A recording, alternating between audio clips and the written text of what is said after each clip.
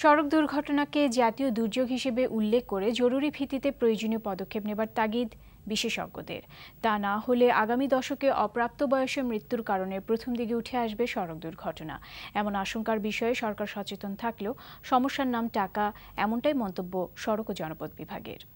সড়ক দুর্ঘটনা নিয়ে রোকনুদ্দিনের পাঁচ পর্বের ধারাবাহিক প্রতিবেদনের শেষ পর্ব আজ।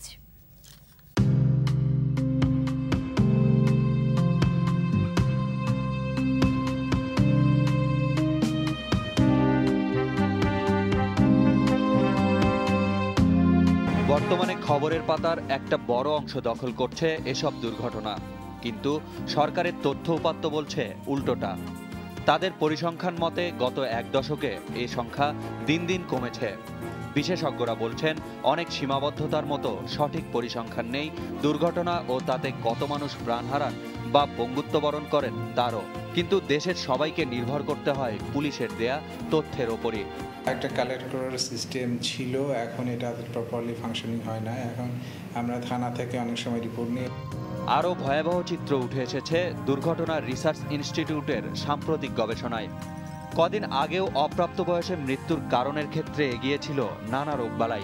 সেখানে বর্তমান অবস্থায় চলতে থাকলে দু হাজার বিশ সাল নাগাদ প্রথম দিকে উঠে আসবে সড়ক দুর্ঘটনা। এই ব্যাপারটাকে অবশ্যই গুরুত্ব দিতে হবে। এইটা একটা জাতীয় দুর্যোগ। আমি বলব জাতীয় দুর্যোগ যেখানে জনগণের জীবন মালের এখানে একটা নিরাপত্তার ব্যাপার। তো নিরাপত্তা তো সরকারকেই দিতে হবে। দেশের মহাসড়কগুলোর মধ্যে সবচেয়ে ভালো বলা হয় ঢাকা সিলেট মহাসড়ককে।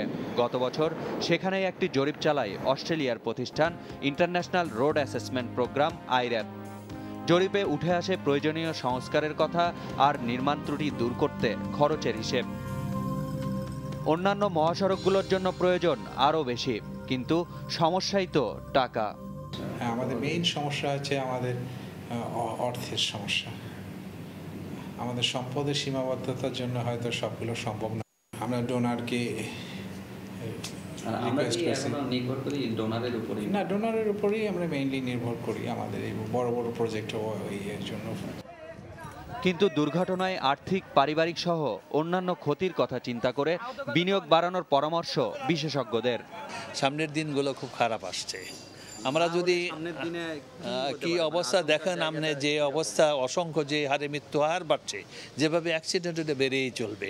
অতএব জরুরি ভিত্তিতে আমার রাস্তার সংস্কার করা রাস্তা যথাযথভাবে তৈরি করা ড্রাইভারদের প্রশিক্ষণ এবং সঠিকভাবে ড্রাইভারদের লাইসেন্স প্রদান গাড়ির লাইসেন্স প্রদান এবং সর্বোপরি যেটা বলব লোকজনকে সচেতন করা। দু হাজার এগারো থেকে দু হাজার বিশ সাল পর্যন্ত সড়ক দুর্ঘটনা প্রতিরোধ দশক ঘোষণা করেছে জাতিসংঘ। উদ্দেশ্য সড়ক দুর্ঘটনায় মৃত্যুর হার বর্তমানের অর্ধেকে নামিয়ে আনা। কিন্তু এভাবে চলতে থাকলে বাংলাদেশ এ যাত্রায় কতটা এগুতে পারবে তা নিয়েই আশঙ্কা বিশেষজ্ঞদের। কারণ এমন দুর্ঘটনায় তারেক মাসুদ আর মিশুক মনিরের মতো মানুষেরা চলে যান। প্রতিবাদ ওঠে জোরে সোরে কিন্তু প্রতিকারগুলো থেকে যায় তাদের চলে যাওয়ার মতোই অন্ধকারে। প্রকরুদ্দিন এনটিভি নিউজ, ঢাকা।